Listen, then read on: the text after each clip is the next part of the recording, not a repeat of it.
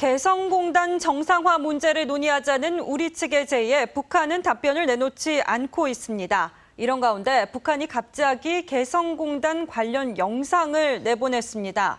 어떤 의미일까요? 김수근 기자입니다. 우리 정부가 제안한 개성공단 정상화 회담에 묵묵부답이던 북한이 지난 5일 갑자기 개성공단 관련 영상을 내보냈습니다. 공단 착공식부터 개성공업지구 관리위원회의 개소까지 역사를 짚었습니다.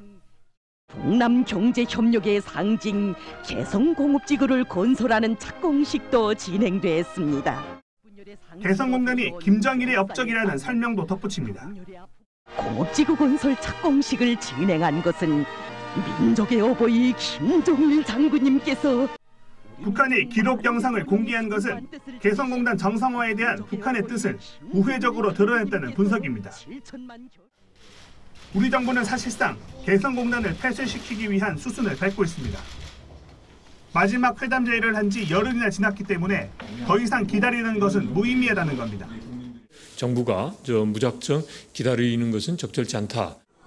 통일부는 민간 위원 18명으로 구성된 남북 교류협력 추진 협의회의 의견을 수렴해 보험금 관련 심의를 벌였고 이르면 오늘부터 보험금 지급 여부를 결정할 예정입니다. 개성공단 입주업체 124곳 가운데 109곳이 남북 경협 보험금을 신청했는데 이 돈을 받으면 자산을 정부로 넘겨야 해 공단은 사실상 폐쇄 절차에 들어갑니다. 개성공단의 운명이 점점 파국으로 치닫고 있습니다. TV조선 김수근입니다.